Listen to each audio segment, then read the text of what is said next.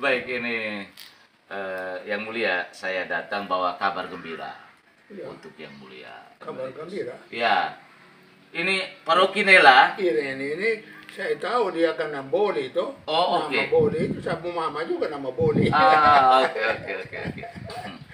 Baik, eh, ini saya datang bawa kabar gembira Ya. untuk emeritus.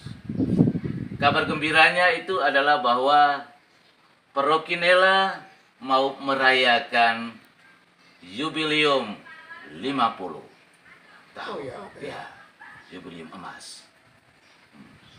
Tanggal 13 Juni hari Minggu ini kita Oh, merayakan. Itu kami di sini. Misa perdana dari Oh, di sini ada Dari- misa. Oh. Romo yang baru ditamiskan. Ah. Ya. Te- Saya datang ini dengan undangan. Ya. Undangan untuk emeritus. Lalu ini, ini kami tempo hari sudah buat seminar. Seminar tentang Santo Antonius, Ya. anak proki, dia ada terbitkan buku itu sebagai sumbangan anak proki. Yang Bapak mulia, Yosef Hel. ini mau merayakan pesta emas ini. Ya. Ya, 50 tahun berdirinya Prokinela. Lalu 25 tahun itu kehadiran ini pelindung Proki Santo Antonius. Benar ke tidak itu ya? Ya dia memang lonceng itu Santo Antonius ya. Hmm. Ya, ya. ya. Jadi mungkin mau menyongsong perayaan yang mau dirayakan tanggal 13 Juni hari Minggu ini. Ya. Eh, mungkin eh, yang mulia ada pesan dan mungkin ada harapan untuk umat paroki Nela. Regenera harus berdikari. Yang mulia, kami juga sementara membangun gereja yang baru. Kami baru sampai di fondasi. Gereja lama. Gereja lama masih tetap di situ, kami sekarang masih gunakan. Hanya eh, gereja yang baru ini kami barusan mulai dengan fondasi. Fondasi. Oh ya. Ya. Jadi, Nama ini tidak baik kan? Atau bagaimana? Eh, dia sudah ada bocor-bocor, hujan angin itu juga sangat mengganggu suasana perayaan juga. Nah, jadi itu umat mereka punya mau supaya bangun yang baru dan paling kurang dia agak lebih besar supaya menampung umat tidak perlu harus apa buat tenda-tenda lagi. Dari. Jadi kira-kira eh, pesan dan harapan dari yang mulia berkaitan dengan pesta perayaan jubileum 50 tahun dan juga sekarang pembangunan gereja ini mungkin eh, yang mulia ada titik pesan dan harapan untuk Pesannya umat. supaya semakin berdikari. Ber- semakin berdikari. Iya, iya. Jadi kalau mau bangun gereja ini yang baru ini juga harus dari umat sendiri. Saya hanya tahu hanya satu paroki yang bangun gerejanya sendiri. Saya tidak dapat bantuan apa-apa dari tempat lain. Semata-mata dari umat. Semata-mata dari umat. Tapi Pak, itu dari dulu, dulu kala ya sudah lama. Itu gereja di Oeolo. Saya pertama pastor di Oeolo.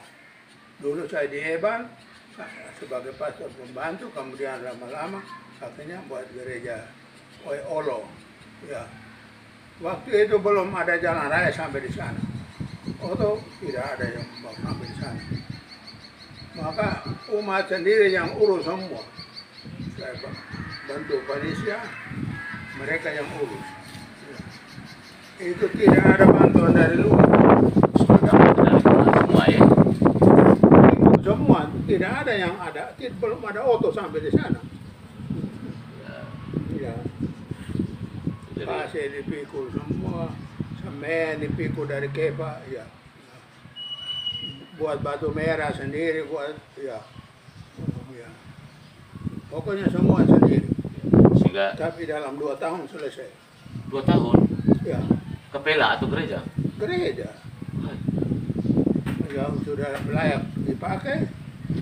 Saya minta Brigjen yang datang meresmikan bahwa ini bisa dipakai. Belum bisa diberkat sebab uskup masih sidang Vatikan kedua di Roma.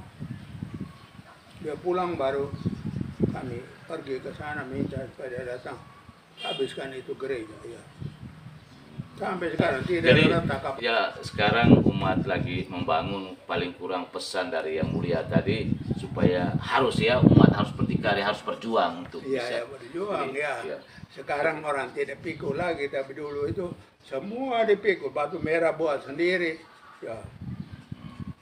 Gergaji kayu sendiri buat, pikul pasir dari sungai sendiri, dan panisia itu keras. Kalau ada campur dengan lumpur, pulang, ambil baru. Baik yang mulia, ini umat Prokinela itu banyak juga yang tinggal di luar, ya di luar Proki. Ya. Ya, mereka tidak ada di di dalam Proki sini. Ada yang karena pekerjaan, tugas yang lain, tinggal di luar. Kira-kira mungkin yang mulia juga mau titip pesan untuk umat Oh. Proki yang ada di Itu luar. begitu. Ah, gereja di kampung saya di Lamawolo di Tanah Boleng ini itu dibuat sendiri oleh umat. Tidak ada mereka tagih semua orang Lamawolo yang ada di mana saja. Di luar juga. Di Kalimantan di mana semua ditagih. Saya juga ditagih. Hai. Iya. Akhirnya saya bilang sudah saya kasih lonceng. Ah, oke, Saya beli satu lonceng gereja dan bunyi masih bagus sampai sekarang. Saya tanggung satu lonceng gereja. Jadi setidak-tidaknya bahwa keterlibatan partisipasi itu juga umat yang ada di dalam dan di luar juga ya. Memang yang umat di luar Ada.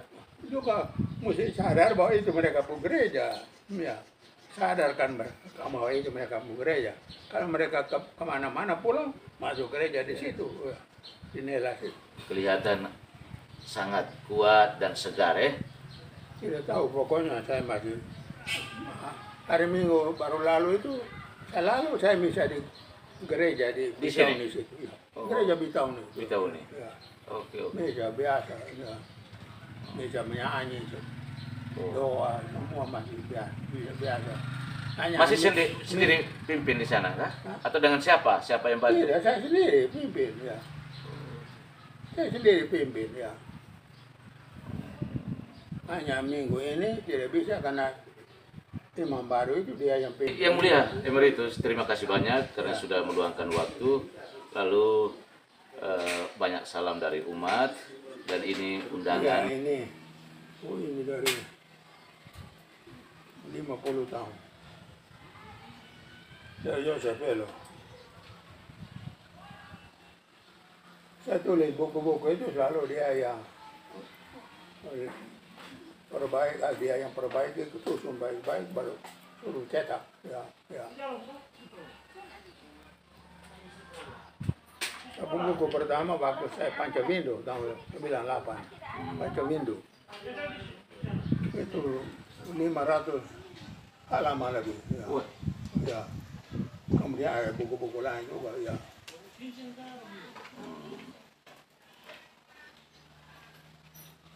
Ada buku satu namanya kegiatan tiga ber.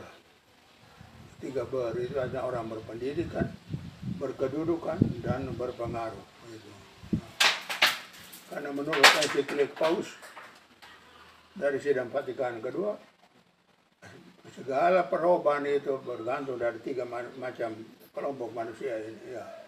Hmm. Maka mesti pengaruhi mereka. tiga bel. Tiga ber.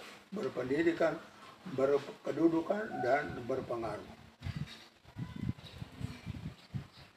Itu dikenal di seluruh keuskupan ini. Jadi yang mulia tolong ya kita juga mengharapkan dukungan kekuatan doa dari yang mulia supaya perayaan jubileum ini bisa berjalan dengan lancar. Ya, Lalu bilang sama umat, bilang maaf sabut.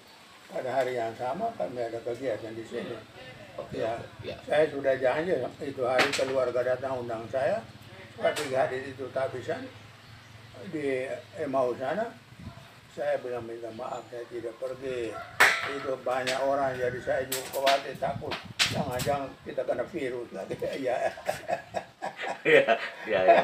Ah, tapi kita tetap menjaga protokol kesehatan dalam perayaan. Terima kasih Ya. juga sudah menitipkan pesan untuk umat dalam perayaan ini jubileum, lalu juga pesan supaya kita harus berdikari ya dengan apa yang sudah kita mulai pembangunan gereja kita harus tetap lanjutkan Ya. sampai dengan selesai. saya bisa cerita ini kan Santo Antonius Padua ini dari Oke. ya dari Padua waktu sudah diketahui bahwa saya diangkat jadi uskup dengan jabatan uskup auxiliar pertama karena uskup kedua itu saya, saya tolong dia satu setengah tahun saya uskup auxiliar Oke.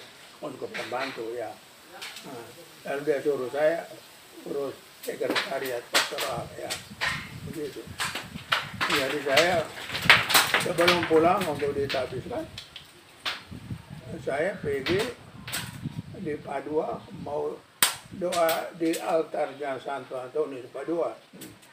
Di sana ada rumah SPD juga, ada sekolah SPD. Jadi saya sampai sana, saya tidur di rumah SPD. Saya bertemu rektor. Saya bilang, saya mau bisa di Kapela Santo Antonius mau berkah supaya saya pulang ini ditabiskan jadi uskup saya tetap tabah dan teguh. Dia ketawa saya. Dia ketawa kenapa ketawa? Dia bilang di altar Santo Antonius itu tiap hari ada misa dan orang sudah lamar semua dari tahun lalu. Engkau baru datang mau misa memang.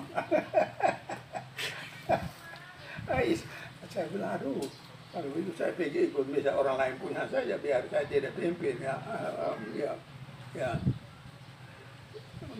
Saya masih periksa juga sekolah di situ. Periksa sekolah ah, biarlah sekolah umum saja tidak perlu lagi ah, khusus untuk calon imam ya begitu. Akhirnya hari kedua kok ketiga. Nah, rektor bilang ada keuntungan. Bilang untung apa? Ada satu pastor berhalangan tidak datang. Saya bisa ganti. Dia bilang saya bilang terima kasih banyak Tuhan Allah tahu, tolong saya. Antonius tolong ya. Antoni tolong. Itu tiap hari ada misa di situ, 10 misa. Satu hari. Gantung ke ke surat-surat itu terima kasih banyak sekali di sini ini itu ya ya karena Santo Antoni tolong ya. Jadi maka kamu juga harus betul-betul hormat Santo Antoni dari Padua. Ya, ya, ya. Itu pesan Jadi ketiga. terima kasih Oh, banyak. iya. Kami Selamat ya. Yo, selamat. Kita salam begini saja ya. Jangan Kita begini. Iya, iya.